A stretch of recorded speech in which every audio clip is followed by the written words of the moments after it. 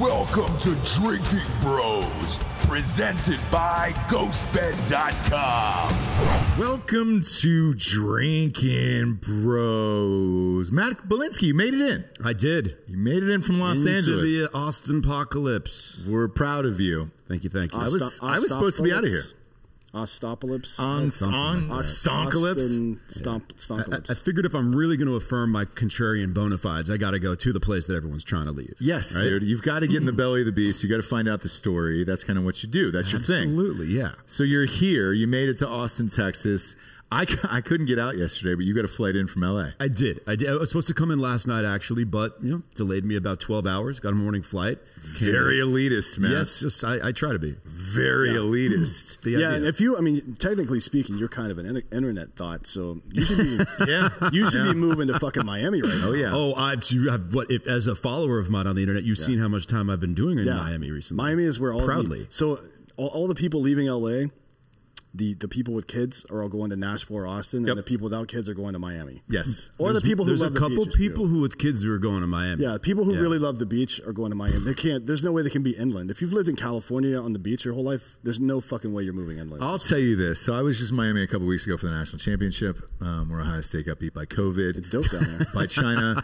It's amazing. However, look, Miami for the last 20 years has been the same where you're in a high rise or you're 30 minutes off Yeah, of like at Miami Beach, like Infinite yeah. turquoise. You see the turquoise plexiglass condo buildings. It's like, Yeah, Jesus yeah, yeah, turquoise is expensive, man. They It's expensive, one, but two, you're nowhere near the beach there. Mm-hmm. And everybody thinks it's the same as LA, where, where you're like, oh man, I'm only like 10 miles from the beach. I'll No, go you're all like the 45 time. minutes from the Yeah. beach. Yes. Yeah. And and the traffic and everything else, and it's it's a whole day or a weekend. You got to some plan of out those your life. some of those neighborhoods that are down on the beach are like private gated neighborhoods too. You Sure. can't even get in there to Yep, get on the beach. Sure. Yeah. But uh, here's the thing, though. Some of those uh, off the beaten path or maybe 20, 30 minutes away residential neighborhoods out there are very nice. Oh, yeah, Like Coconut. Yeah, yeah, Grove. yeah. It's great. And so I know a couple, a couple people from LA who have families who are like, all right, I for two point two million dollars, I'm living in Shittsville in West Hollywood with the homeless problem getting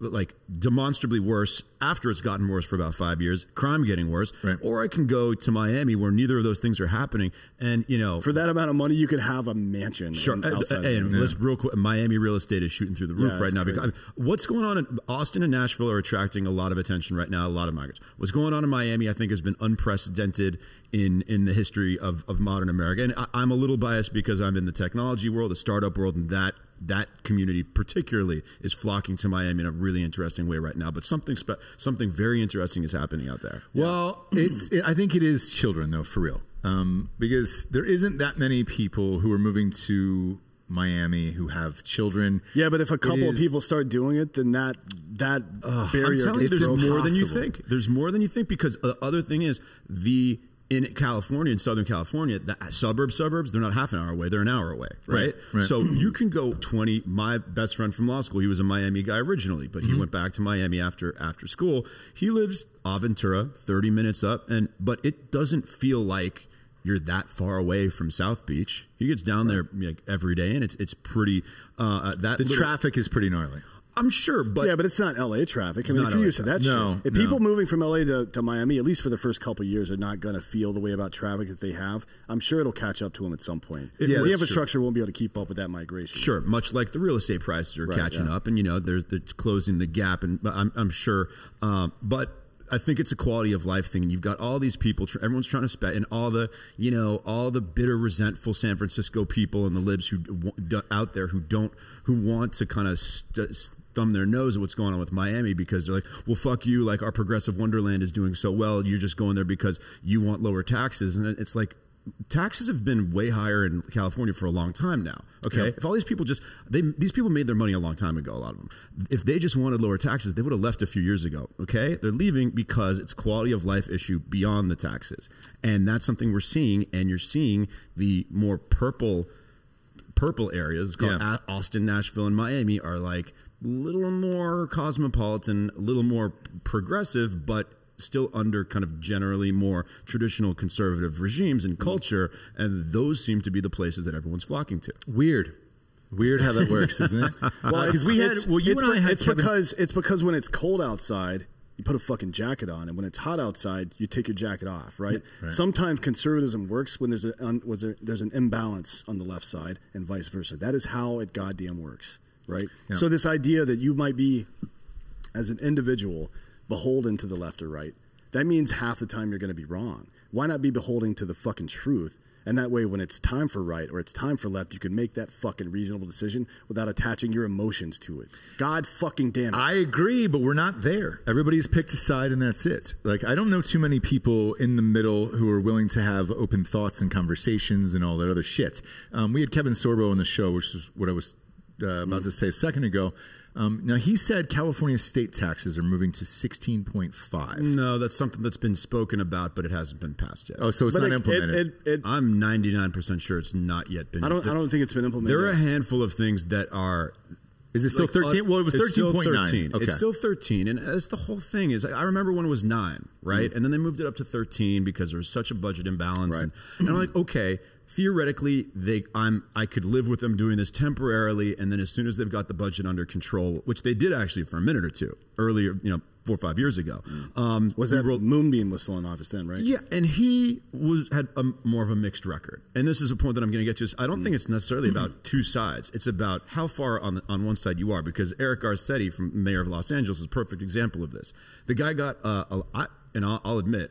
Because if you were an early 30s enterprising professional in Los Angeles and you wanted to network well, you did an Eric Garcetti fundraiser in 2013. yeah, there was We- a, a lot of people lot of going to those things. We yeah. fucking did those, and it was great networking. And he seemed like a pretty Hmm. rational, moderate guy that was friendly with the startup world. He seemed like a gangster, like an Italian gangster from the old school. Sure. Where when you like- met him, yeah. you were like, Yeah. "Oh, well, shit, eh, this guy sure. could do some shady shit and get I some kinda, things I kind done." of felt the same about Bloomberg when he came to New York too. Even though he had started trending toward the left a little bit, he still seemed like a pretty but but here's reasonable guy. here's the thing. We all know, it's you know, stuff, stuff that me, me and you guys have talked about a lot is this strange phenomenon of the past. Let's call it five to seven years of the the the the, uh, the left going in just aggressively, radically to the left to an extent no even an Eric Garcetti in 2013 would never have contemplated. And because, as he's shown himself, and why I regret and will vocal, vocally regret ever having supported him, is because he's shown himself to be such a craven opportunist that if he sees the opportunities on his side shifting, the, the, the zeitgeist of the left shifting there, he's mm-hmm. going to go there. And Right. that's what he's done. well, that's that's nothing new on, in, in either side of the but it's world, it's right? new in how but the ideas that I mean, are now, Hillary Clinton was staunchly anti-marriage equality until 2013 Yeah. when she and Obama's hands got forced by Joe Biden being a loudmouth Sure. on fucking sun, Meet the Press on Sunday or whatever the fuck it was. Sure, but Right. what you're seeing on the left of the, from the Great Awakening, as some people have phrased it, which I, actually I think like is that. I have not heard that, Oh, you actually. haven't heard? Oh, No. you got okay. that makes me want to die. that Matt, phrase. Matt Name this Yglesias. episode "The Great Awakening." That's great. I'll, well, I'll give that one to you. I haven't heard and that. another and a guy who's another interesting example of this of a classically left-wing writer named Matt Yglesias mm. who then you have seen in real time as the left went too far and he has reluctantly acknowledged that. He left the New York Times he left Vox where he was one of the principals Yeah. and he, you've seen him speak out against radical leftism recently. You can say wow they're too far left for Matt Yglesias like this is crazy so like you're seeing you, he was supposed to. He was on the show, by the way. Oh, he was, was he? We Yeah. were about to have him on the show, and he had a power outage, and we just haven't rebooked him yet. He's going to be well, here's the story. on. That's what he said. anyways. We started getting into it about his book because he his, he wrote a book called like a billion people, right? He Yeah. wanted a billion people to live in the United States. I did not think that was a good idea. I think we're good at 3:30 right now. We can't Got even handle on this shit plate, yeah, clearly. exactly. Yes, we have enough on our plate. And I was like, "Hey, man, why the fuck would you want to do this? Because everybody will be living in high rises or things. You won't have a yard. You won't have anything. Sure. Blah blah blah blah blah." And uh, he was like, "Hey, man, my internet's not doing so well." We were about 15 minutes into the interview, and then Really? Yep.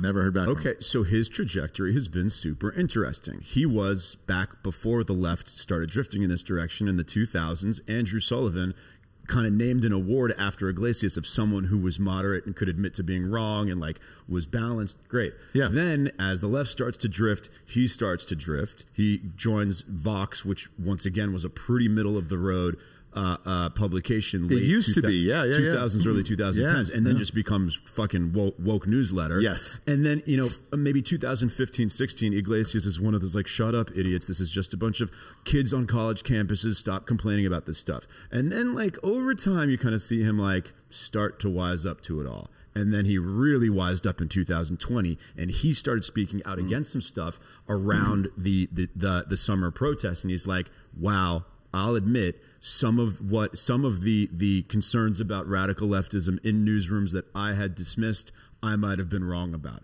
And within two months of two or three months of that, he's out at Vox. Okay, he's on. Interesting. lives. So this was when we when he was on here. It was right before all that stuff happened, right? Yeah. Um, and uh, yeah, we we had asked him. We were like, "Hey, man, so with Vox, right? It's kind of like a BuzzFeed. There's a lot of people that don't like Vox." And he was shocked. He was like, "Really?" He was like, I I've never heard anybody that doesn't like boxing. I was like, "All right, cool." There's a lot, and then we got into the book and everything else, and then magically his internet cut out, and we never heard back from him again. But this was also before all the events that you're talking about. Okay. So Okay. this was right around, you know, I don't remember when it was. March, April of Maybe, uh, yeah. 2020. It was a yeah. while back, Sure. yeah. Before the protests. Yeah. And now, if you read, he went to Substack, doing very well on Substack. What is Substack? So Substack is an independent publishing platform that some of the that you can accept, build audience, accept subscriptions, build your you know essentially your own publishing business individually off of. And recently, it has been the soft landing or the oasis for all of the writer mainstream writers who no longer feel comfortable at their or getting booted out of their out of their uh, uh, their mainstream publications, and this Yeah. goes from everyone like a Bari Weiss at the New York Times, Andrew Sullivan at the New York Magazine, to Glenn Greenwald, who was at the Intercept of all Greenwald places. started all this shit. He Yes. didn't. He didn't start it, but he was. say- He's one of the founding fathers of this movement. Sullivan has uh, left for Substack first, but you got to give it up to Greenwald. Well, I don't mean Substack. I just mean in general. The fucking He's been great. The journalists calling out other journalists who aren't journalists. They're just fucking click click machines. Yeah. Uh, Greenwald's one of the first. I mean, you know who Glenn Greenwald is. Yeah, yeah, yeah. presumably, right? Yeah, yeah, yeah, of course. Yeah. Um, which is, look, all of this is why we wanted to have you on the show today. Dan and I have bitched about this for months and months and months in this show. I've been bitching about it since I was born. Well, you have. nobody Because I think better. I have I, think Walter Cronkite is the cause of all of this shit. Well, yes, Dan does, but but Well, there's a couple of bad players, right? That over the years that have caused this situation that we're in right now. One of them is Richard Nixon and Atwater, his his his chief campaign manager Atwater, Right. who developed the Southern strategy, which is well, we can't say the N word anymore, so let's call white people hardworking Americans and let the presumption be that nobody else works hard. Right. That's all him. The Southern Christian bullshit. Like the South wasn't about all that shit politically speaking before Nixon got involved. Right. Nixon's one of them.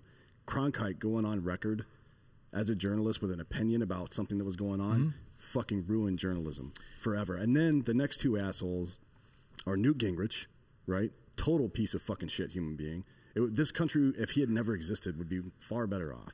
Newt Gingrich and uh, who's that other fucker? Uh, the guy that uh, that coined the phrase "death tax" and all that shit. He's like a Republican strategist. You Uh, can look at Frank. Luntz? Frank Luntz, yeah. Okay. Those two guys, him, Frank Luntz, and Newt Gingrich in the fucking uh, '90s and early 2000s are the next ones, and then uh, from there on, it's just been like cascading downhill. Everybody, there have been a couple of people who have tried to resist the avalanche, but have been taken down with it. I guess not that that's an excuse. They're cunts too. Fuck them. But uh, the only person that really didn't, the only two people that really didn't buy in, I'll say three, because I'll add Bernie into that. He couldn't be bought by anybody. I'll give him that. Bernie Sanders. Bernie Sanders could not be bought. He was a hypocrite about a lot of stuff. Like when he, when it was time to give his employees fifteen dollars an hour, he was like, "Nah, we got to fire these people." Yeah, yeah, yeah. Cunt, just Yeah. like everybody else. Uh, but Tulsi Gabbard, you see what happens when somebody is legit. She's the best. They look around and see the shit like, "Fuck this, I'm leaving." And frankly, I spoke to her the other day, by the way, so and- she wants to come on the yeah. show. Oh, and you vice guys got it. Yeah, I think she's the most interesting. Like, I mean, she's barely mainstream. I think she's the most interesting mainstream politician around right now. She just Yeah. started a podcast, and uh, I chatted with her the other day. She'd be down to come on, obviously, and um, yeah, Yeah. Uh, she's interesting. But uh, again, the reason why we wanted to have you on the show today is Dan and I keep bitching about uh, these social media platforms that we're stuck with, kind of right. The Twitter, the Facebook, Instagram. Um, you know, nobody talks about WhatsApp really anymore, or uh, Snapchat, or anything like that. Uh, Nobody above 27. Right, yeah. Exactly. Yeah. What is the next thing? So when Trump got removed from all of this stuff, we're trying to figure it out what the next thing is. Because I mean, dude, Dan and I, we've had some shows. Shit, we had a feed bumped off of uh, Facebook because we were talking about just privacy and how to turn off the the, the data on your Yeah, the your ex- external data collection. So do you know do you know how to turn that off? No. Yeah. Pull up your Facebook and I'll do it for you. So we did it live on air on Thursday, and we were using this app called Restream, which we use for all of the shows. And it gets uh, one feed. All these cameras get get fed out to all these social media platforms, um, YouTube, Facebook, Twitch, all that other stuff. As we were talking about how to turn off the the data on your phone so that Facebook's not tracking you or whatever, which is on there. It's on their app. It's not like we're telling you anything that you you don't know. But uh, uh, they cut the feed, and then this morning we got a, an email saying, "Hey, uh, Facebook is no longer allowing you to stream videos on Facebook or whatever." Like it was a normal episode. We were talking about the storm pipes bursting and nothing crazy. I mean, just, usually it's coke and strippers on this show, but it wasn't. Um, so we keep talking about what is the next platform. Uh, a lot of people, Tim Dillon and those guys, talking about Clubhouse. Uh, I joined Clubhouse. Uh, Dan and I have been talking about stereo. Well, a lot of people. Stereo is one of them. Yeah, a lot of people who talk for a living are talking about Clubhouse because that's what it is, right? Yeah. So people with stereo. like journalists who are Twitter warriors are going over there and listening to shit. But I doubt the people that aren't familiar with being in front of camera are doing a lot of talking. I would guess like professor, a lot of a lot of scientists, a lot of mathematician professors and stuff, a lot of marketing people over there, and a fuck ton of on-camera journalists are over there as well. Yeah, so explain the hype behind Clubhouse and what it is, because you were one of the first people in it. Um, obviously, you've been on the early. show before, and uh, I follow you. So I, I've seen your tweets and your messages about Clubhouse, and then Tim Dillon is one of my favorites. So, like, obviously, you know, he was like, "Oh, you got to get on Clubhouse. It's dope." Yeah. What is it? Okay.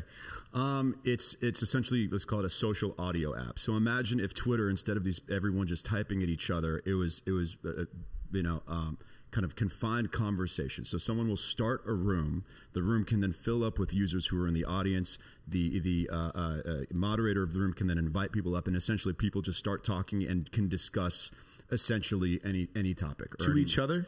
to to each other yes so it's almost like these little digital auditoriums with speakers but it's i- fully interactive where at any point anyone can raise their hand come and you know obviously the moderator gets to decide who um, but and these things uh, have very much take on a life of their own and for instance uh, last saturday uh, and and as as long as there are moderators up on stage the, chat continues to go until the, the originator turns it off And Elon Musk is on there a ton. Yeah. He's on there. Yeah. So to back that's that's what a description of what it is. To back up a little bit and give you the context that I think will show you why it's interesting and why everyone from Tim to a lot of other people why I think it is one of the reasons that I've been a proponent of it as I think it's sucking uh, out some of the energy and some, it's it's kneecapping the the mainstream media's power on Twitter and I'll tell you why in a minute. okay. So um Because it's easier to, to listen than read. Mm, well, no, that's well, why, that's wanna- why no, Audible no, exists. You want to know why? You want to know why? Because on Clubhouse, you can't repost, retweet, or screenshot someone and send your digital attack dogs Yeah. against them. Yeah. you have to speak. and there's to them. no there's no rating system. So when I first, it. when Okay. I first, when I first saw Clubhouse, I was like, what if somebody what if what if somebody comes into a room and you're a moderator and it's the same person gets booted out of different rooms repeatedly? Should there be a strike on them? The answer is no. Because if you start allowing that, then the mob will show up and start using that mechanism to fuck people out of their and fucking so voice. that okay so so the I'll tell you about a couple of the early exam you know what's going on with that because it's going to happen and it needs to be addressed right? So um, there is a, a venture capital firm called Andreessen Horowitz. If it's not the number the most successful venture capital firm in you know recent history it's top five right? Um, and they've you know Marc Andreessen he was one of the uh, guys behind Netscape. And you know this is a one particular venture capital firm that's had a bit of an acrimonious relationship with the tech media and the mainstream media Because you got not- Sequoia up there. Sequoia Yeah, but um, the Sequoia plays by the rules, and by rules I mean They're quiet. They're rich enough to set the rules and stay off the stage. Yeah. They're know what I mean? quiet. Sequoia. Okay, so Sequoia is quiet. Founders Fund, which is Peter Thiel and a guy named Mike Solana, who's super interesting, who you guys might not be following yet, but I think Is you it should. Weinstein in that too, or the both- Weinstein is maybe Thiel both of? Capital. Oh, that's then- right. Which yeah. Weinstein? I think that's important to. Okay, Eric yeah. or it's his important to say that for the audience. First, uh, yeah, Brett's not gonna not. No, No, he's- one's giving him a job at a He's talking about He's a good dude though. He's talking about okay, Harvey. got it, got it, So- got it. Just for the audience, we're not talking about Harvey. Okay, good For sure. Good. So Andreessen Horowitz, uh, early, like literally right after COVID happens, there's a release, in, uh, uh, uh, press release in the tech press that Andreessen Horowitz funds this new app called Clubhouse uh, at a at pre-launch.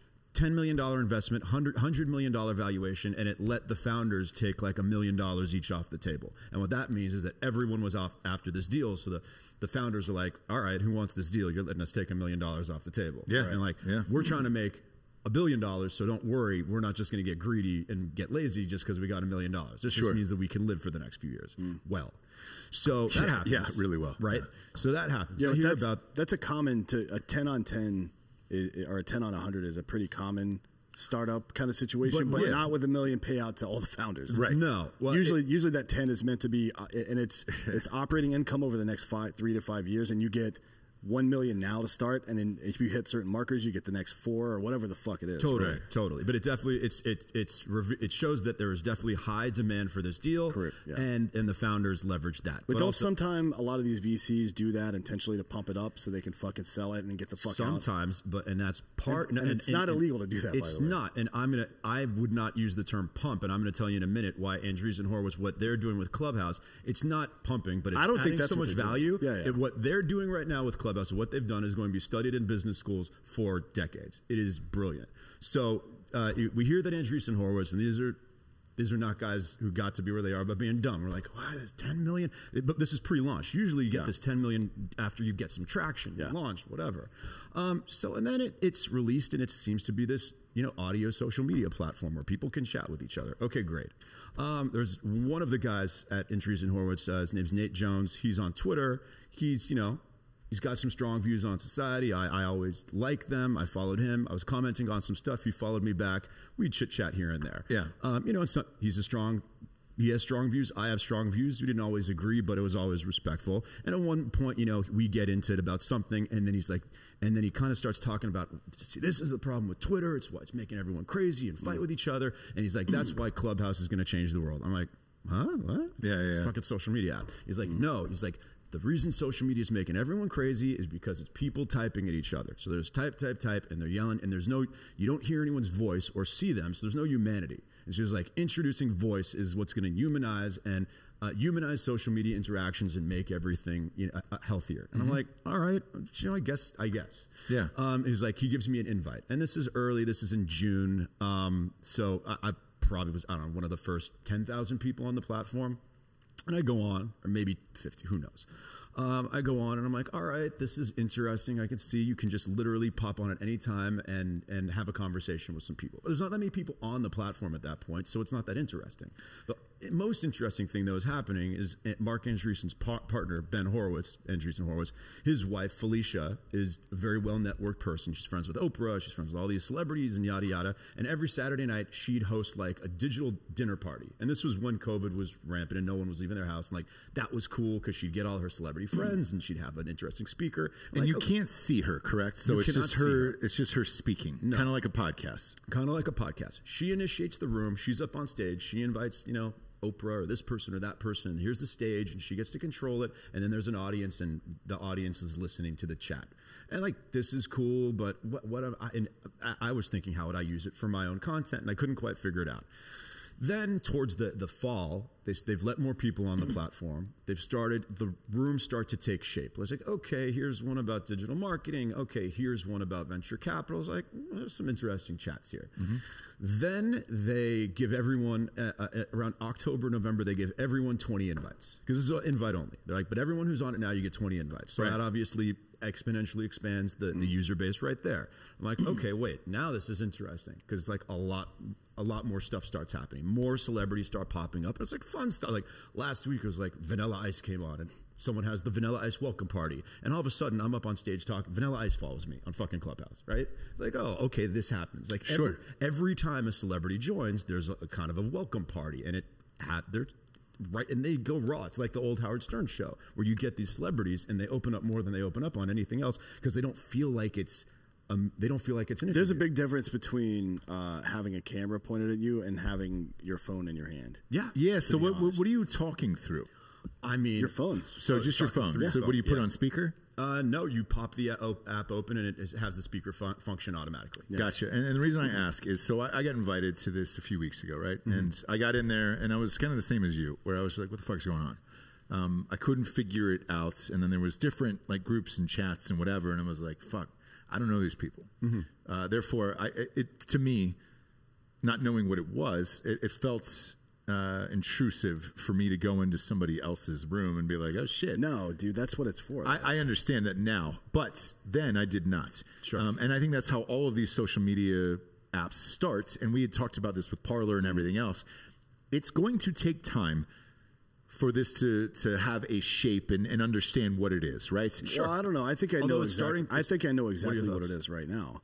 Right. I mean, it's it is what you said it is. It's it's a humanization of the process. So there's a number. Look, there's going to be uh, uh, uh, pitfalls as well. For one sure. Of, one of them is is content moderation, because regardless of how f- you feel personally about liberty and anti-safetyism and all this stuff, if somebody is jumping into like let's say there's one user that's just joining every possible group and anytime a fucking chat starts they get in there and raise their hand and eventually get let on and just yell the n-word repeatedly mm-hmm. that person has to be dealt with somehow because Sure. it's just annoying right it's not about safety or anything it's just like we want our platform Muddies to the waters.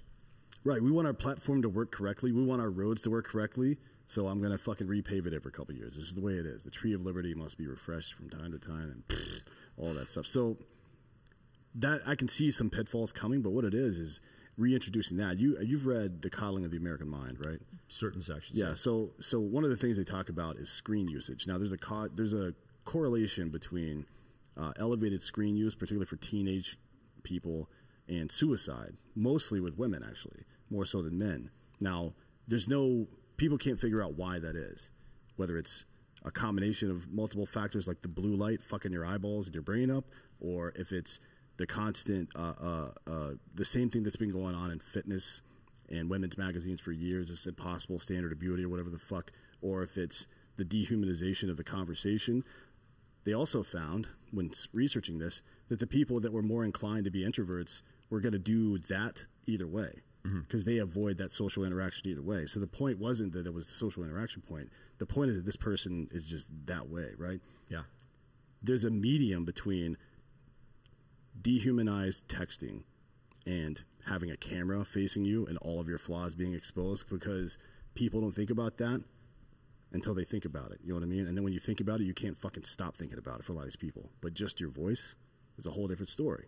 I And- think your friend's right. I, and Yeah. so do I. And here's the other part about it because we, we just did a show yesterday about uh, the Richard Marx thing that I, I did with Richard Marx, which is fucking hilarious, right? Beyond. But the thing is, you have I don't know. I'm looking at my- Anybody that takes themselves that seriously needs to be fucked with. Well, here's Yeah. the other part. you know what I mean? it That's just, it's not about being a dick to the dude. It's just like, come on, But man. but his his yeah. fans jump in, our fans jump in, and all that other shit, right? But it's it's just blank people, you know. And you're looking at him, and you pull it up, and you're like, all right, great. Uh, this guy, Carrie, quite contrary, whoever the fuck that is, has a thousand and twenty nine followers, and you're like, I'm just reading is again a total random, just looking at it. And then their their bio says sarcasm and wit fan, T1D harm reduction, cannabis advocate, uh, and then GIF sniper. So just a just a GIF sniper. I don't know who this is. It's a picture of a woman on a broom from uh, 1928. It's all in black and white. That's their thing, right? That's the problem with Twitter. Is sometimes you don't even know if these are real fucking people. Mm-hmm. Like whether it's a bot or somebody else. If it's somebody's voice and you're able to call them out and physically talk to them. So hypothetical. These Ru- these Russian bots aren't going to be able to be like uh, like speaking in some really poor American accent. Yeah, yeah, yeah. Hey, uh, Rick, uh, Richard, Richard, man, uh, Dick Marks. Man, I, thought I saw you talking to Raw. Sounds it's a- bullshit. It's a guy with a Slavic accent, but he's saying he's from fucking southern Mississippi. Like, yeah, "No, yeah, yeah. Your- man, your aunt gave him a beach. Like that holds people more accountable, where you can hear their voice, talk to them, and say, "Great, when was this? Who told you this story? Why? Blah blah blah blah But blah." you can also identify somebody based on their voice. There are Yes. very sensitive instruments that Yes. the government can use. Look, I don't know what the fuck you guys know about all this stuff. Not you, but the audience. But uh, satellites can look at your gait, the way you walk, and Mm-hmm. identify you separately from different people that are walking around you. So if you think there's any privacy left on this earth, you're out of your fucking mind. Lock Oh, yeah, yourself in a yeah, basement yeah. somewhere and masturbate and hope God's not watching. That's all you can do at this point. I Now I like to be watched. And that's your so I, kink. I go outside. That's your kink, yeah. I make a bunch of weird uh, uh, searches about like how to buy propane tanks and fucking you know fertilizer. And then I go outside because I know the satellite's on me. I just pound off right in front of them. There's 60 dudes in an NSA fucking lab somewhere watching me pound off. yeah, I like which it. is great. Which you which you like it. yeah. That's why they took the job. That's definitely why they took the job. Exa- nobody takes one of those jobs if they're not a voyeur, right? Exactly. You have to Come be. on. You have to be. Um, so, Clubhouse, final verdicts here before we get to the sponsors. Then I'm going to ask you about Trump's platform and everything else, Mm-hmm. right? Or where he's going to go. Yeah. D- does this get ruined like every other fucking app? Because this is the this is the cool kid right now, right? Everybody's Yeah. talking about it. Fuck, even I got into it. I don't even know what the fuck it is. Yeah. I, but I'm also terrible at tech. Sure. Uh, to be honest with you, I'm great at talking to a gajillion people. Tech That's wise, this is my. You might warm up to this soon enough. well, maybe, right? Yeah. Um, but tech wise, like shit, man, I I can barely control a fucking Instagram or a goddamn Twitter account. Richard Marx, Dick Marx might have me banned. I don't know what's going to happen. Um, but uh, this is interesting, but does it get ruined just like every other thing else because of outside money, advertising, Um, people from the ev- left? Everyone is is speculating on that, right? Because right now, eight million users. A good share of that are cultural and professional elites. Um, so everyone's thinking, well, how is this going to get too cluttered when too many people are on? It's this special, you know, time right now, and like there's just so many interesting people who just any time Because it's small, though. eight million's not that small though. I'm like, but it is for everything else. Sure, sure. But I'm like, dude, I mean, it's kind of wild. Like at any moment of the day that I can pop the potential of three to five options to pop into rooms of like industry experts discussing like the relevant topics, I mean, is pretty astonishing. And it's like, does that go away? And I, as of it's been too okay. First of all, because once you get on one of these rooms, you just stay there and everyone's talking. The average session time per user on this thing blows away anything that's ever happened on the internet by far it's not even close because like this everyone just stays on Right. um so i i think it would be you i think it's hard to bet against it right now it's hard to bet against it um and i just because i think you guys it's super relevant to the stuff we talk about it's interesting. i can already see this sucking some of the wind out of the traditional media on Twitter for a variety of reasons. The Twitter hit, the New York Times hit pieces are already coming out, and they're falling flat because you can't. Like Taylor Lorenz tried Right. to do a hit piece the other day, and she sounded ridiculous. But, but, the, but the New York Times is also falling flat. So Sure, but but they're okay. They're this part So of the, the, the LA. Times, by the way, for sale right now. Yeah, yeah, correct. As of today. Yep. Again. Yeah, again, joke. Yeah. Again. Yeah, done. CNN's for sale. Yeah. Yeah. Um, Because it's a it's that's a failed industry. Yeah, It's and, it's done. and the Tr- Trump kept it was circ- they were circling the drain in 2016. Then Trump came along, kept Yeah. them afloat, and so the So. Trump's of, not Tr- Trump's not going to try to do some kind of new traditional media because that would be insane. Like if- Ah. no, no, no. Wait. If you come in at the end of railroad popularity, where tr- where fucking transfer trucks are starting to become the thing, and you start a new railroad, you're a fucking idiot. Yes, You I- start a truck company, bitch. I agree. So Well- what Trump has got to do is something like that.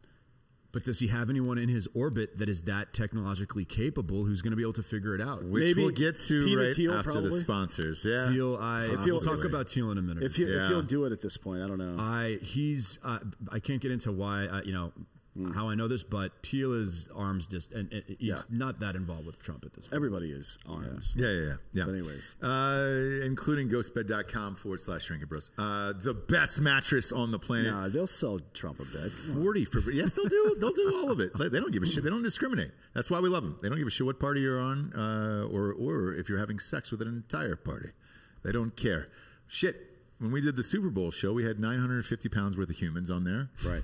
And an adjustable And it was only base. three people too. yes so clearly you're ready to go if you want to get a fucking group orgy going on 40% off if you order the bundle package, which is the adjustable base and the mattress right now. You can also couple the pillows and sheets on that bitch, and you're good to go, especially if you get the 36 month pay as you go program and no interest there. You can blend both of those deals together and have a huge deal, which is a whole new bedroom set for essentially 35 bucks a month. It's the best on the planet. I lost mine in the fucking not even gonna say a hurricane anymore because I'm not I'm not there. I moved to Texas, so I was like, oh no, no more hurricanes. I'm in Central Texas instead. Pipes bursting. So uh, the natural disasters are following me. I'm gonna need a new fucking ghost bed. I can't live without these goddamn things, and you won't either. Go to ghostbed.com forward slash drinking bros today and get yours. You'll understand what I am talking about. And again, use the 36 month pay you go program. No interest there. Couple that together, and then just type in the promo code drinking bros at checkout. You're good to go. Next up, we've got Cardomax, uh, C A R D O M A X dot com. Energy intensifier, man. This is tasty little tin pouch here. Boom. Rip it open and squeeze it in any liquid available, and you're good to go. Uh, this is it right here, kids. Pour it in whatever, and uh, you're ready to punch a mountain, a baby, or a mountain lion baby. Uh, whatever you choose, you can do that. Squeeze it in anything, you're good to go. Look, there's no carbs, no sugars, no nothing in this, and uh, that's it. I don't want to say that it lasts longer than five hours, but it does. It does. Uh, go to C A R D O M A X uh, dot com. Sean Matson's company, Yeah. Navy SEAL. He's been on the show numerous times. He's about to do a bomb run, bomb suit run. Yeah, which is dumb. Yeah, Dumb, never. Sean. I love you, but he's gonna he's gonna get all hyped up on the fucking Cardomax. no point doing And it's cool. that. Use the promo code DB there, and it's BOGO. Buy one get one. Brand new company. Uh, then you can see if you really fucking like them. They're great. Uh, here's the bag of it right here. Uh, we love Sean Matson, those guys. Uh, it's a veteran-owned company.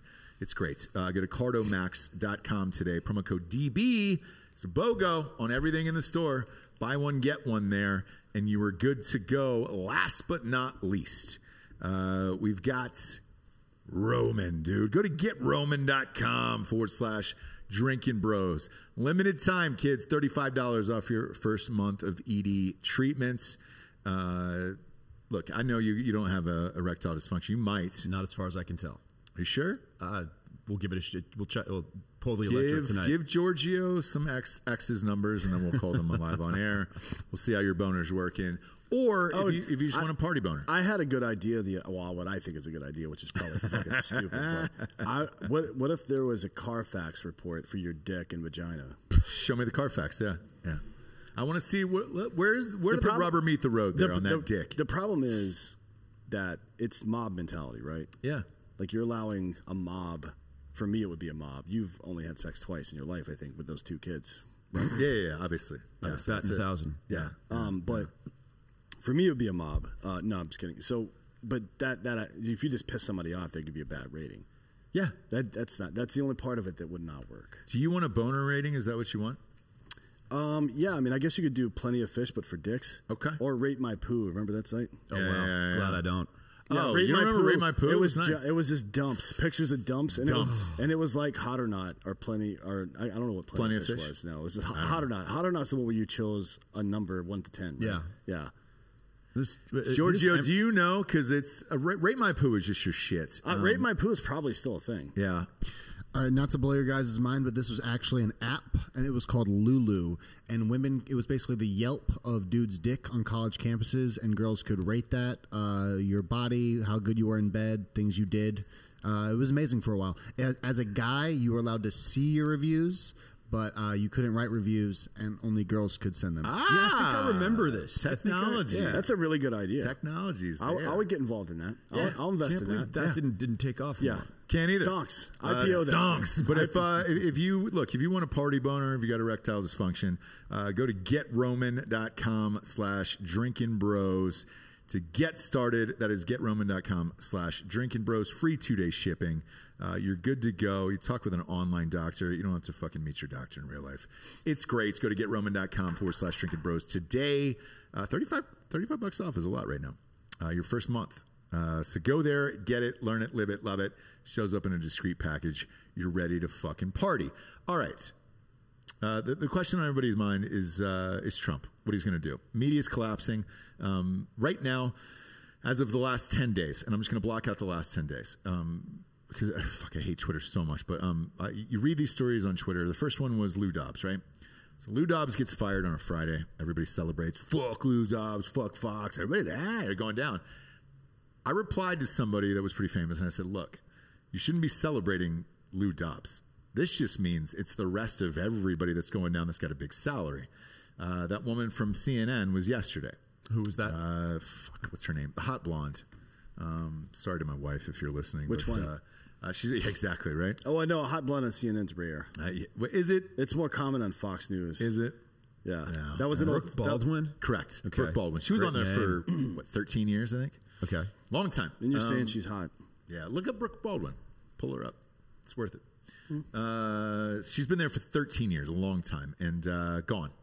And she went on air live yesterday and made a speech and just said, I don't know where I'm going and what's going to happen. I'm writing a book and then I'm hoping for new opportunities. So clearly, she didn't see this coming either. Yeah. Um, she she did their afternoon shows for those guys, and it was like, look, Trump propped up all of the fucking media. So all these anchors are going to be dropping left and right here as it's coming up, right? With Biden, Biden personally, to his credit, has come out and said, look, man, I, I don't want to talk about Donald Trump. I'm tired of talking about Donald Trump. Don't ask me about him. I don't want to hear any fucking Trump questions. I want to try to get what I came here to get done during my presidency done. I don't want to talk about Donald Trump. However, the media and everybody else wants to talk about him. But he's banned from every single social media platform there is right now. Where does he go next? Because he's not just going to stay quiet and play golf in Mar-a-Lago. Yeah, you wouldn't think so. Yeah. So, what are you hearing behind the scenes of in LA of like where is he going and, and where is he going to pop up at? I mean, I, it, I haven't been hearing a ton, although from what I've been hearing, what I'm trying to speculate on, and one of the more revealing conversations actually was on Clubhouse when Brad Parscale popped on the first. Oh, so he was his former campaign manager. Yeah, yes, yeah, yes. Parscale and un, it was unfettered Parscale. So, yes, he was too quiet, but then it was suspiciously quiet. So then I wonder, okay, was he just quiet because he was waiting for the impeachment to be done? Um, and impeachment's done now, and he's been talking a little bit, but he hasn't been that loud. So then, okay, does he come up with an? Does he start just going on Fox? Does he go on Newsmax? Well, he's Oh, not going to go on Fox. Not at all, right? It's, And he's not going to be. I mean, like all the all the old darlings of the right have have collapsed back into the establishment because look, Correct. I assume, and I think this is a reasonable assumption that in the same way that establishment people in politics need to keep things a certain way so that themselves personally and their fucking people when i say their people i don't mean their constituents i mean the, the companies that they're beholden to get the money that they need i assume that it's the same way in the media right now right Yeah. like it's it, as soon as fox saw on the writing on the wall like it looks like Trump is probably going to lose this because he won't stop fucking talking shit to old people who are a big part of his fucking voter base. Yep. So as soon as they saw that, they're like, "Fuck this guy."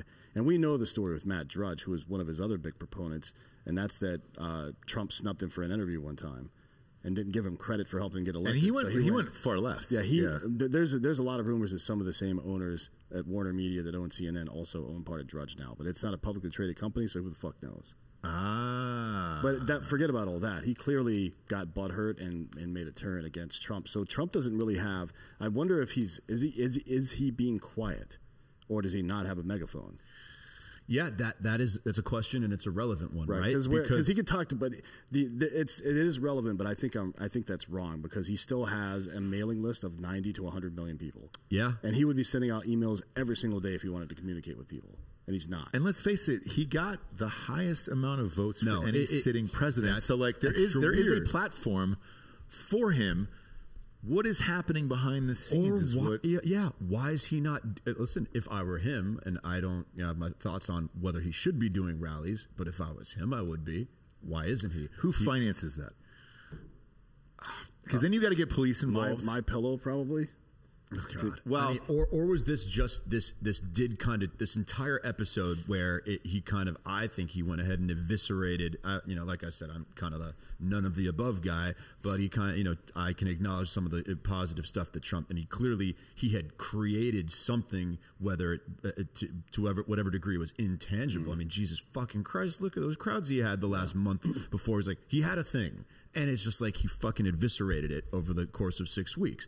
But it doesn't mean that he still couldn't. You know, it, those those rallies were real. Those crowds were real. He could replicate stuff. But uh, okay, did it happen that that he with that one event or that the trail of activities leading up to that one event just extinguished any goodwill that he ever could have had, and now became so toxic that he knows that that nobody can associate with him. That he's persona non grata in America, other than Mar-a-Lago or whatnot. But that I, that still doesn't feel right. Um, it still feels like he, it, or is he, is he kind of art of warring it? Because Trump, who seemed like such a, uh, a shrewd strategist in some regards, and then everything he, then COVID came, and and like every flaw in his ability to strategize seemed forget the morals of it and the ethics. He, I was like, dude, you're just fucking up. Like, uh, even people, you know, I know people even who could, did not like him who were like, wait, this guy has a few tricks of up his sleeve negoti- as a negotiator and a strategist. And then like uh, he realized, oh my god, I fucked up. Uh, I, I, I was I made such a mistake in terms of my strategy. I need to pull back, retrench, and go be quiet for a little while. And if I'm going to come back into the public eye, it's got to be. Uh, it cannot be a continuation Yeah. of whatever just occurred. That may be what's happening. Well, to be clear, Trump's handling of COVID versus his rhetoric about COVID are two very different things. Yeah, but that's- it's kinda the- it is the this is it, problem yeah. of his entire presidency. I say Sure. this all the time. He had a lot of the right answers, but because he was such a cunt, the the the the country was not allowed to benefit from those right answers because he couldn't keep his fucking mouth shut. Now, there you go. Yeah. one of my theories is that he was a political suicide bomber. He has come into the political theater now and exposed everyone. I would say distrust in electoral politics and representative democracy is at an all-time low now. And All politicians in general. And people will say that that is a negative thing that Trump did. People don't trust politicians anymore because of Trump. Okay, that's fine. Mm-hmm. But he wasn't the dishonest one Right.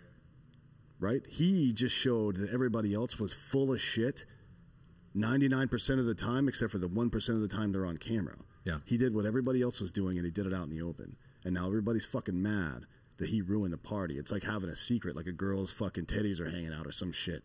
And you're the asshole that comes in and tells her Yeah. whenever all the other fucking pervert dudes are looking at her. That's what's happening in fucking Washington, D.C. right now. The fucking curtain got pulled back.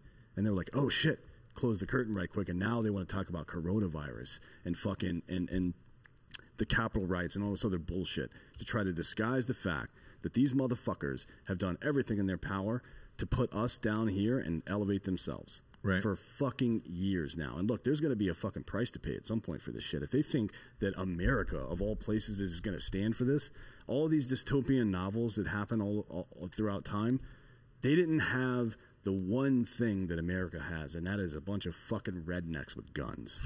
You know what I mean? Yeah. If you think that a bunch of people with small arms and a little bit of motivation can't disrupt a massive military operation, I invite you to go check out Vietnam or Iraq or Syria or fucking Afghanistan. Good luck, motherfucker.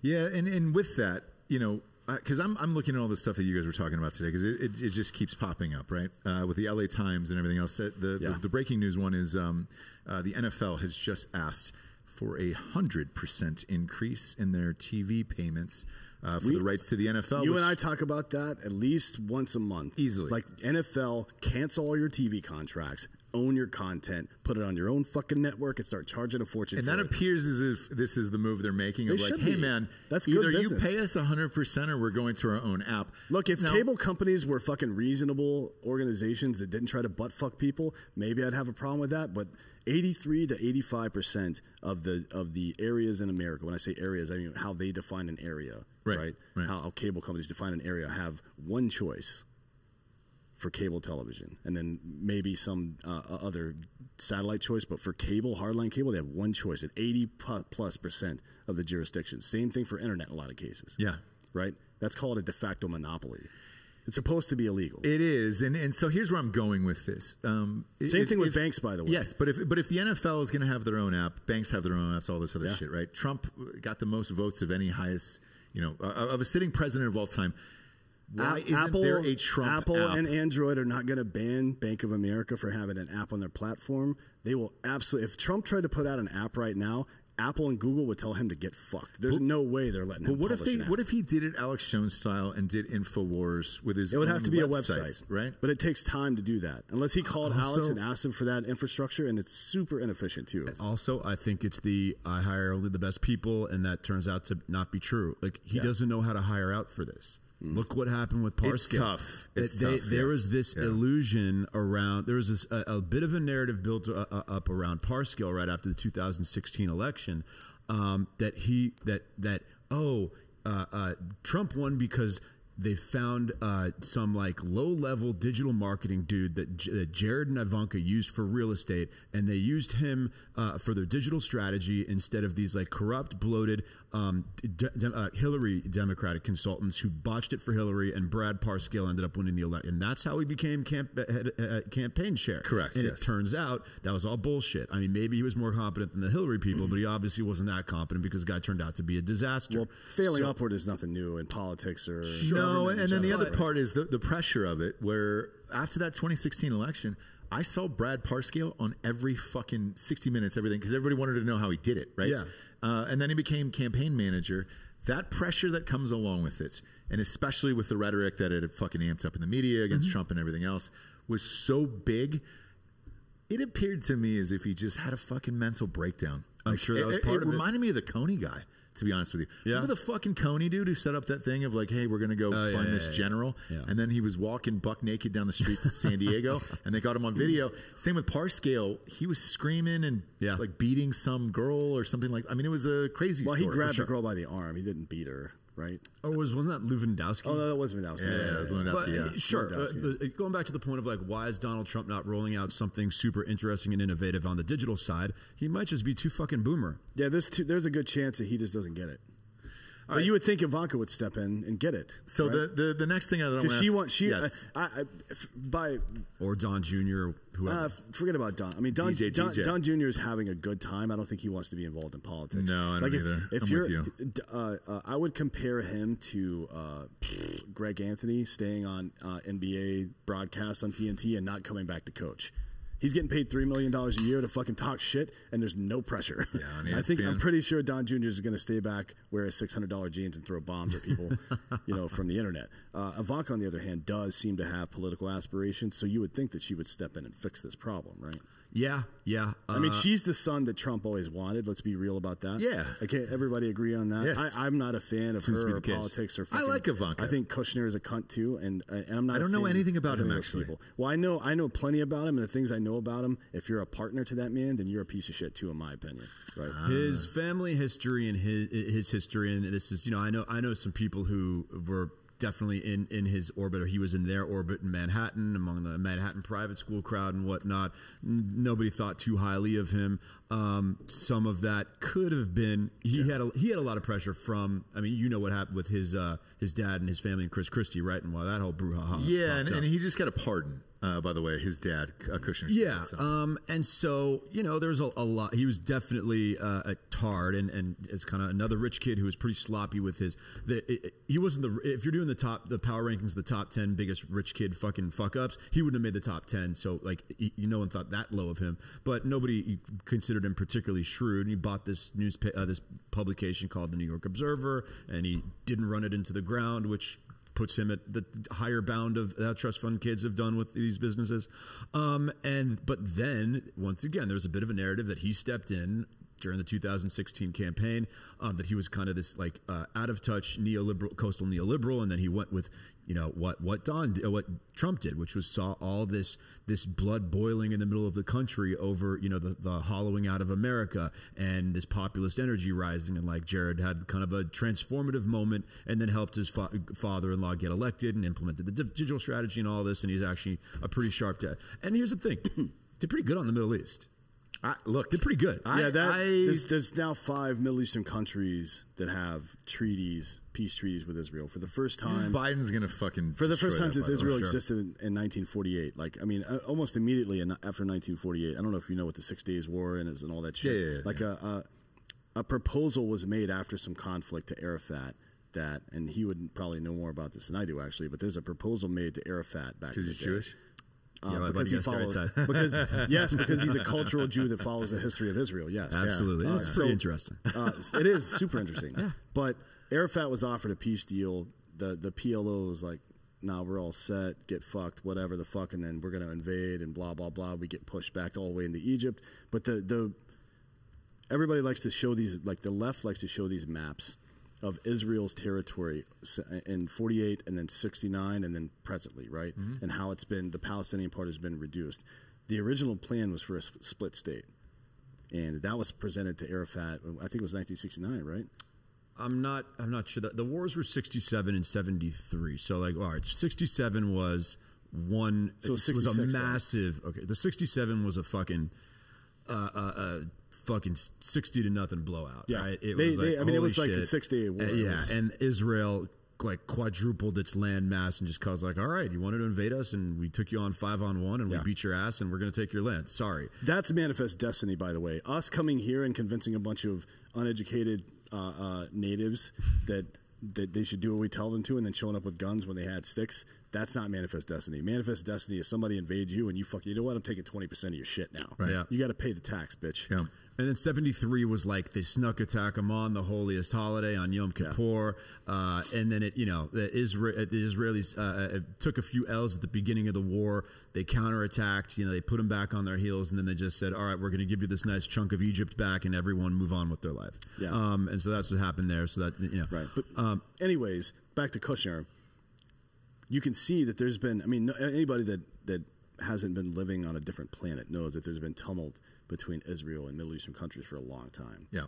And I feel like the most important thing that's happened in foreign policy for America in the last 50 fucking years since the Marshall Plan closed out is this, and it got zero media coverage for the same reason. Tulsi Gabbard talked about this three weeks ago on Rogan's show. Uh, she would hear her fucking fellow Democratic Congress people say, "We can't pass this bill yet because it'll fucking land in Trump's presidency, and we don't want him to look good."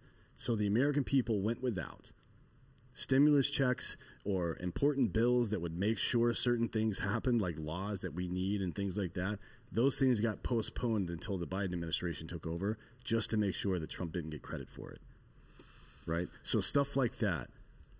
How can we make rational, reasonable, fact-based decisions if we're not receiving all the facts? But we- that is we- the problem. But we're not going to be for a long time. That is the problem of Facebook and, and Twitter, especially. Correct. So I told you. So I mentioned I was, I was mentioning that this clubhouse chat that originally started as uh, us, you know, talking about the New York Times coming after Clubhouse and them swinging and missing, and how this is kind of eh, whatever. That Congressman Justin Amash, I always pronounce uh, who the fuck knows. I don't know if it's Amash or Amish. Amish, Amish, He's the right. libertarian guy. Yeah, Yeah, Everybody but he came on. I I leave the chat. I go do some daytime activities. I come back and like a bunch of journalists are in the chat. A bunch of you know venture capitalists and like it's humming.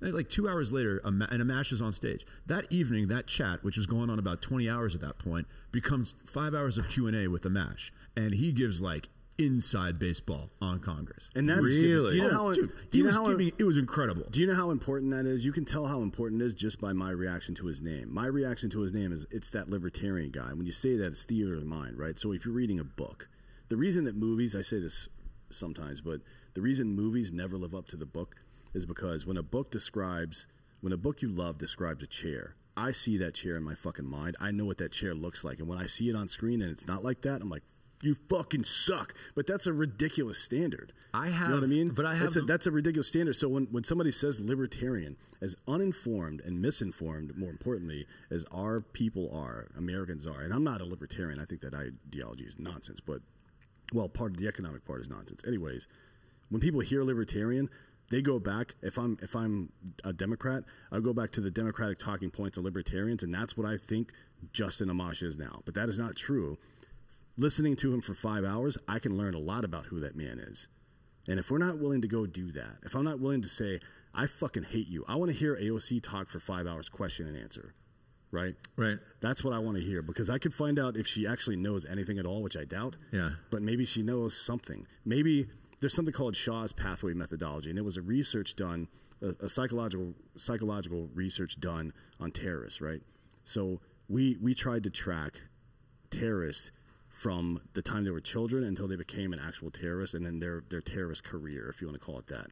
And Shaw wanted to uh, identify points of interdiction, like at 12 years old, if I can stop this kid from being in a madrasa or being in a poor city or being exposed to this or not being exposed to this or whatever it is, I can prevent that person from becoming a terrorist, right? Right. So if I can hear how somebody like AOC thinks, I can say, you fucked up way back here. Change that, and your entire life is different now. Your entire worldview is different.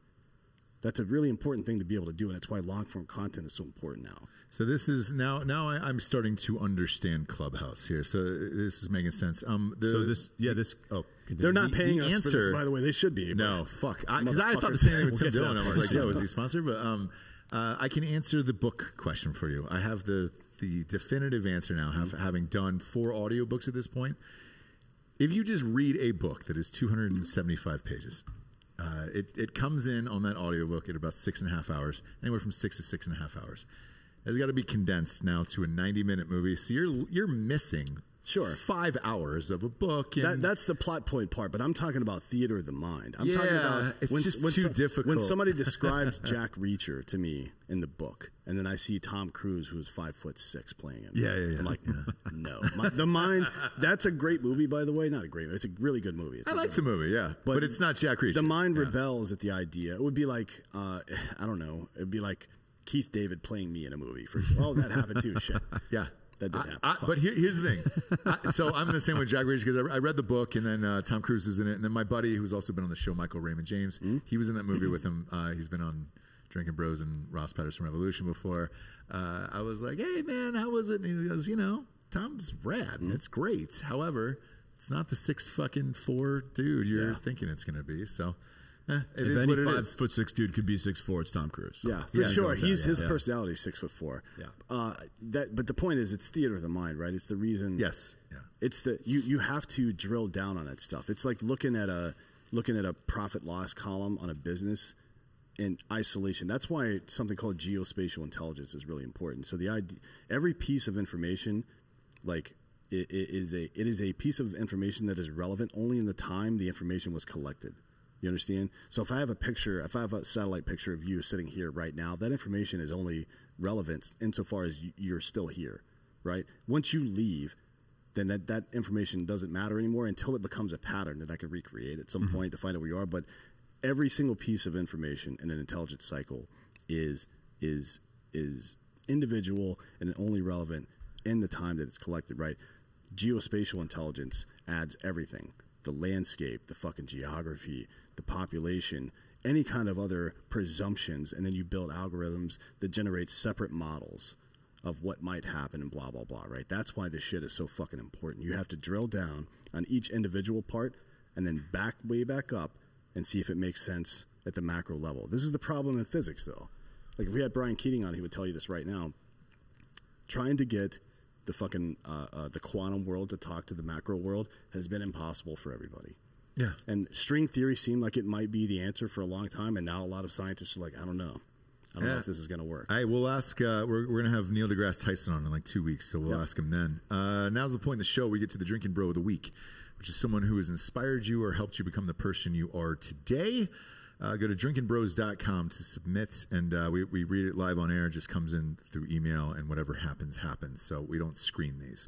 Uh, this one is from Chris Silvestri uh, from Hawaii, a member of Drinking Bro for five years. He's nominating Dallas Garza. Reason for the nomination My buddy Dallas was a fellow warrant officer in the Army and died in a helicopter crash on Veterans Day in Egypt. He was an awesome dude who everyone admired, not only for his ridiculous good looks, but his positive attitude, his sense of humor, and his love of Texas. Hey, there we go. Uh, we all love him and miss him, and uh, and a shout out would be an awesome gift for his family.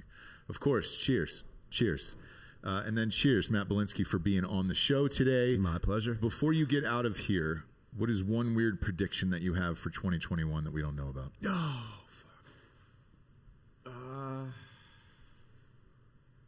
Media wise, Hollywood wise, theaters coming back by AMC. God, uh, uh, Stonks. I, I think the fucking. I, I think one of the major one of these publications, LA Times, New, uh, New York Times, not going to go out of it.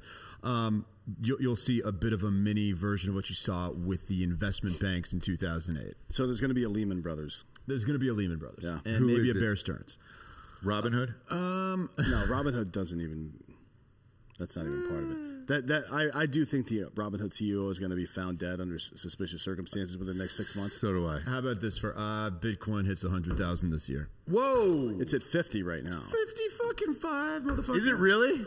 I mean, Do you it- have It it? jumped 15k I in the last it. I two knew- I weeks. knew you and fucking at this it. point, every dollar that I don't have in it, I'm pissed off. I don't. I have know. in So is Giorgio and uh, COVID Fake low Dan was as well. four point six.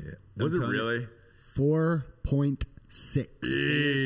the, the smartest people I know, like the ones who like this motherfucker's smart, Yeah. real smart. Yeah, yeah, yeah. They're all long Bitcoin. It's uh, the only people. Well, I saw Musk put uh, Tesla put 1.5 billion in it, and and another firm just did too recently. Um, Yeah, yeah, and you're gonna you're gonna see more. Uh, the city of Miami, and you got to check out what the mayor's doing over there. It's fucking. Do they? Let me ask you. do- Does does it split? Because no one can afford that. No one No, can no, no. afford You can buy. That's the thing. That's the thing. You can b- fucking buy ninety cents worth of Bitcoin. Oh, gotcha. You gotcha, can buy gotcha. it down to like like twenty one integers or something. Okay. it's crazy.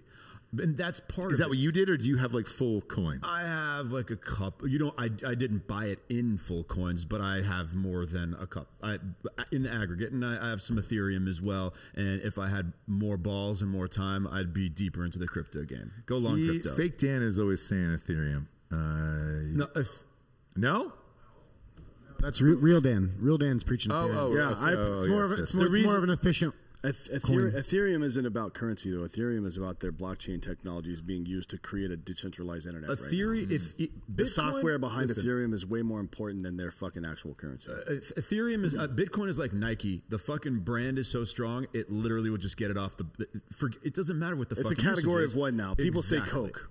People Right, say exactly, Nike. right. People say Bitcoin. Right. Then Ethereum is kind of uh, you know is is uh, that with more functionality. Don't ask me to explain the functionality, but the smartest people I know who have been right on this stuff thus far, they're like, this is what's going to be uh, uh, more, more operable. Then you're going to have like a long chain of of these other coins that are going to start is popping up. Del with- Taco. exactly, sure. right? Del Re- Taco regional, coin. regional, the regional versions of fast food places will come up, and they're. I mean, their Litecoin has been Yeah. around for a while, and who gives a fuck about that? You can still make money. Their market, uh, their their let's see, their market cap right now, I think, is like ten billion dollars as, as of this morning. Giorgio, our, our huge amount of producer, uh, he follows this. What, what do you You'll, got? you'll you'll see them almost replace stocks, kind of, for some tech companies. Like you invest in the company, they'll issue a coin. I don't purchase know. those coins when they come into public auction, and then like as the company does better, the coin value goes up. I think kind of Binance is one. So like they're a trading platform, and they rewarded you with free coin.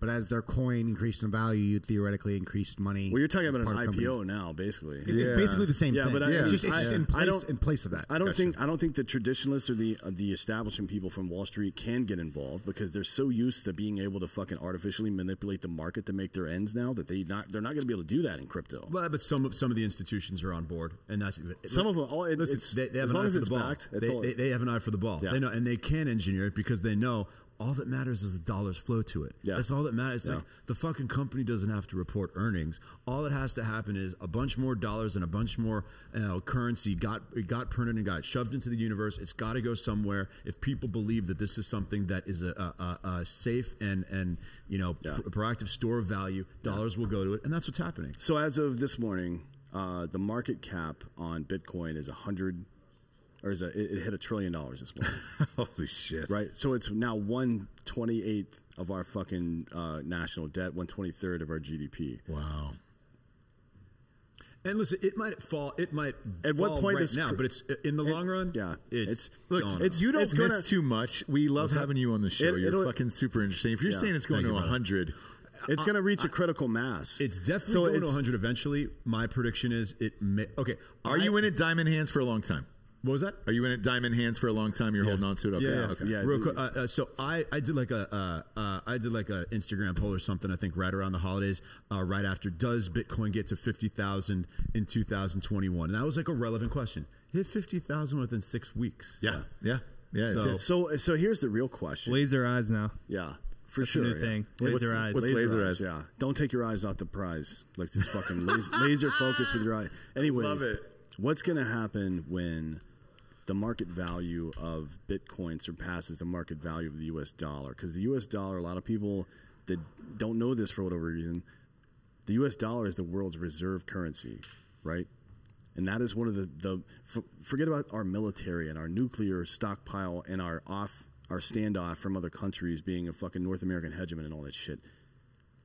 The real power in the U.S. is the fact that one, we fund the UN, which people can talk shit about the UN. I think they're a bunch of assholes, but we fund 95% of that shit. The other part is the US dollar is the world's reserve currency. When that goes away, a lot of the leverage we have over other countries ends immediately. Like that day it ends. Then our purchasing power is a, is a big thing. That's another thing that nobody fucking talks about from the Trump administration is that he fucking created a budget deficit with China for the first time in God the fuck knows how long. Like since the 90s, I think. Yeah. So many things happen there. That'll be the really interesting thing to me. Investing in all that stuff, like I've got plenty of money and all this stuff, but I don't really care one way or the other. I'll live in the woods. I don't care. You know what I mean? But I do appreciate it. I, I follow it in the same way that I bet on shitty sports games just to Just to do keep, it. just to keep Yeah, my yeah, attention yeah. on Yes, it because yes. it's interesting. But the really interesting thing to me will be when you start seeing the market cap of Bitcoin specifically creep upward and upward near that 20 trillion, 25, 30 trillion dollar mark. Then what are we talking about, right? Are we talking about replacing currency, the re- world reserve currency with Bitcoin? Are we talking about replacing all currency with crypto at that point? Because look, in 19 fucking 10, imagine telling some farmer, right, that this little card has all your money on it. Yeah, credit card. Yeah. You don't have any money anymore. There's no dollars and cents. You just have this card now. And he's like, that sounds a lot like the mark of the beast from the fucking from Revelation. Yeah. I'm out, right? But it's these new modalities and the way we handle fucking exchange happen all the time. It's not very rare. And even in, by the way, even in COVID, no one would take cash, man. Yeah. It was, hey, card only. I don't want to touch you. I don't want you to touch me. Well, now they've I want you added the fuck out now they've added Bluetooth to the card Correct. itself, right? Correct, you can yes. just tap it on stuff. So that those are all, uh, I guess, uh, intra changes. Now the intra interchange is going to be we're going to shift away from any kind of physical card whatsoever. It's probably going to be associated with some kind of biometric. You would think, right? Feels like it's end, aimed Yeah. in that direction. yeah. yeah. And that's because that'll be the most secure way. Like there's implications to using biometrics to identify yourself in public that aren't great. Iris. right? Iris. Yeah. That's just going to be in your but fucking eyes. it is man. what it is, and it's going that way. So, what would be the impetus of keeping the American dollar, or the Japanese yen, or the British pound, fucking sterling, or the euro? What would be the point of any of that stuff at that point? Why make it more difficult? I, I agree. Like the the, the international money exchange system is a fucking. It's like the insurance companies. It's a total ripoff. It's fucking nonsense. People say like, well, this market decided this dollar was worth this, and this market decided the yen was worth this. I'm going to take fucking ten percent to make that trade for you. I'm like, what the fuck? well, it's like a painting. Yeah. It's like a fucking Basquiat not- where it's it's just just- like, all right, great. How much is this? I don't know. How- However much Yeah. we drive it in this this auction at Sotheby's. So that, anyways, that's back, what it is. back to the point. That's the thing I'm waiting for. I want to see when crypto starts to take over actual shit. The stuff that's going on in Miami right now is really fucking interesting. Yeah. Oh yeah, and let's face it, Miami was built on drug money, anyways. This Bitcoin is kind of like drug money right they- now. We don't know They were where this is coming circumventing. from. They were circumventing the authorities back then, and now they're circumventing them another way through through a Yeah. computer. And um, I mean, just from the on the broadest strokes, it's idiot insurance, and it's the dumber the systems get, the better for Bitcoin. Yeah. Okay. And uh, that's what. I knew that in 2017, 18, I wasn't comfortable. I saw the drop and I was like, I still believed it. I was like, What did it go down to like four thousand or four something? thousand. Yeah. Luckily, before I, I trusted my instincts that like, wait a second, this is inversely correlated with the strength and and and uh, you know uh, astuteness of the institutions. The dumber the world gets, the more Bitcoin goes up. And I was like, I'm betting on the world getting dumber. And so far, it's been a good bet. Well, I, I did not bet on it, and uh, and it is a regret because I listened to guys like Giorgio talk about it for two years, and I think Giorgio, when you were in North Carolina, at one point it was like thirty four hundred dollars, and uh, you got in, got out, got back in, and all that other shit. I refuse to. I have poor subscribe person to- brains, so you know. Richard Ryan is uh, Richard Ryan, one of the one of the Yeah? original owners of Black Rifle. Holy fucking shit, has dude! millions of dollars that he can't even find. He's got so much Bitcoin from way from like ten years ago So, that he doesn't even remember where all of it is. Dude, And he's he's Richard- systematically been trying to find all of his fucking cards. I'll tell you a fucking funny story real quick before we get off the air. I, Matt, you're one of these dudes that just come back, dude, because we could talk to you for hours. But I Would love to. Um, for Richard Ryan, dude, we were shooting a sketch at. Hopefully, the uh, IRS doesn't show up at his house now. Like, hey, Well, where's it's all not, that money? No, no, no. Here's here's the thing with Richard because you're right. He doesn't know where some of it's at. I was sitting at uh, Matt's house, uh, Matt Best. We were recording a sketch for something, maybe 2014, 15, uh, early on. Like we were getting ready for something for Range 15 or something like that, or the podcast, whatever it was. Richard Ryan, we started having some drinks, and he would not shut the fuck up about Bitcoin. There was probably 12 of us there. Eleven of us laughed at him all night long, Including Matt. this- Yes, Who two years later gave Richard a shit ton of money and said, "Please invest this in Bitcoin." For No me." fucking Yes. way. Yep. So we laughed at him forever, and I was just like, "Yo," and he goes, "No, man, Bitcoin." By the way, Richard at this at Matt's house was drinking Coca Cola out of the glass bottle still. He's it. a weird guy. weird guy. And I go, "Hey, man," and he had Richard had a fucking. Richard had a bunch of money before because of Rated Red and all that Yeah, other shit, the AT and T deal. But he was living in like an apartment, and I'm like, "What are you? What are you doing?" He still is in an apartment right now. Uh, yeah, but why? I was like, "You have he's all one this of money own- to do he's one of the owners of Black Rifle. I'm pretty sure they made like 105 million dollars. I- it- this is this is getting funny. But he got in it. He lives like a told all of us to get in it, and we were looking at him drinking out of a Coca Cola bottle. Well, he was as one an adult, how about this? and I said, "Dude, there's no fucking way You know, I'm, how I'm about, not going to do this." this? And this ties together a few things Yeah. we've talked about. Richard, One- by the way, is also one of the original. He's he he worked on the original YouTube algorithm with those guys. Correct. Like he was there at the beginning. Yes. of YouTube like I said, that. the smartest people. Yeah. So, but this is an interesting story. Um, one of the most, one of the super like interesting things going on in Clubhouse is that Andreessen Horowitz, the venture capital firm, they funded this company, and then they're just funneling all their contacts onto the platform to drive the value of the platform. But no, it's not a, it's not a scam. It's like no, that's making- what you do. They're making it amazing. That's like Yeah. us. That's like us starting Yeah. a new show and we fucking cross promote it on our Exactly, own show. yeah. That's yeah, and I, I could elaborate, but it's been incredible. So one of the things they're doing is like they're having a couple of their VCs interview, uh, do awesome interviews every night. They've done, they did the Musk interview. They did, you know, uh, Ben Tom. They had one of the interviews was Brian Armstrong, the CEO of Coinbase, Yeah. which is like the, and Brian Armstrong was gave a super transparent, raw interview about crypto, and this is it, and I believed in this, and blah blah and I've seen this thing through, and I want to open up this opportunity. is our mission to make this available to everyone. And he's like, yeah, I got to be honest. The first few Bitcoin uh, crypto meetups back in San Francisco seven eight years ago was pretty weird. I think some of the people who were there were actually homeless. oh yeah, or like Dungeons and Dragons and all that other shit. And I was just like, "Yo, man, what the fuck and, is and this?" he was talking, and Brian Armstrong was like, "Hey, I'm I'm gonna end up being one of the godfathers of this entire thing." And like, I was looking around at the beginning, I was like, "This might be too weird for me." Yeah, and and look, I'll go to a single real quick. I'll look in the camera for Richard Ryan. I laughed at you that night, and now you're going to laugh standing over my grave because let's face it, you're going to be buying my grave and then pissing on it and maybe having sex with it because you own Bitcoin since like 1990, and I was a fucking idiot. I'm sorry, Richard Ryan, and I love you. Rich Richard, as long as I've known him, which is uh, at least since the very first part of 2017, I'm pretty sure, or maybe no, it was before that. It was 2016, early 2016. Has been buying consistently and has never sold. no, Bitcoin. no, he's never sold it. He's never sold it. No, that- I, He, yes. He's he's he could. I, I'm pretty sure if he could locate all of his fucking crypt, encrypted drives, he could just retire right now. he could buy to. Austin. Like I don't. Yeah, whatever, man. Uh, Richard Ryan. I'm Well, that's what the Winklevoss twins did too, though. Yeah, they're, yeah, they're, yeah. they're not dumb either. Oh, they're- like. Do you think? Do you think the Winklevoss twins are happier now with half a billion dollars, or would they be happier as Mark Zuckerberg right now with a hundred fucking billion? They might have won the war on that. They one. did. I'm pretty sure they won the fucking war They because did. you know what they're not doing is sitting in front of the Senate. Like Yes, try go, yes, out- yeah. go out- I challenge you. This is a spending Brewster's millions kind of challenge, but I challenge you to just live your normal life and try to spend half a billion fucking dollars. It- I mean, good fucking luck. next dude. to impossible. There's no goddamn way. Not enough cocaine. That's why Jerry Seinfeld came back and took zero money to do that show until fucking Netflix finally was like, "Hey, just let us pay you so we can have the content." He didn't give a fuck about making money. I promise you, Jerry Seinfeld doesn't need any money. No, he doesn't. But he'll, he'll be the first to tell you how rich he is, and good for him. Fuck. I wish it was us. Uh, either way, Matt, uh, where can everybody find you on social media? Um, Matt Belinski, M A T T B I L I N S K Y, Twitter and Instagram, are where you find the good stuff. And uh, as uh, cl- as everyone hops on a clubhouse, you can find me there. Uh, who knows? We're figuring that one out as we go along. But as you guys listen to this conversation, some interesting shit's happening. So I know everybody keeps talking about it. I've I've I've hopped on there and I get it. I just again not the tech savviest. in We'll the get you there. I will I'm, figure it the fuck I'm, out. I'm just uh, I'm, I'm just lurking right now. Like most how of it the, starts. Yeah, That's how mo- starts. most Yep, of most yep. of the people that uh, I that that I follow and that follow me are either just friends or scientists.